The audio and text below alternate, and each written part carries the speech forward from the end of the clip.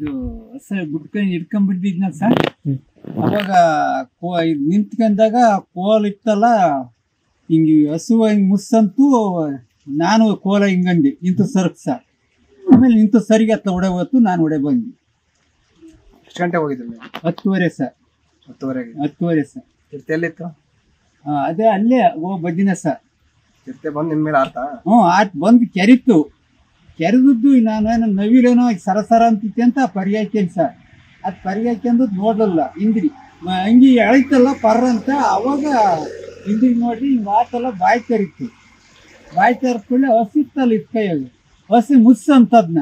ಹಂಗೆ ಅಂದ ಕೂಡಲೇ ನಾನೇ ಮಾಡಿದೆ ಕೋಲ ಒಂದು ಮುಷ್ಣಿಗೆ ಏನೋ ತಗೊಳ್ತದ ಸರ್ ಅವಾಗ ಉಸಿರಿರಲಿಲ್ಲ ನನಗೆ.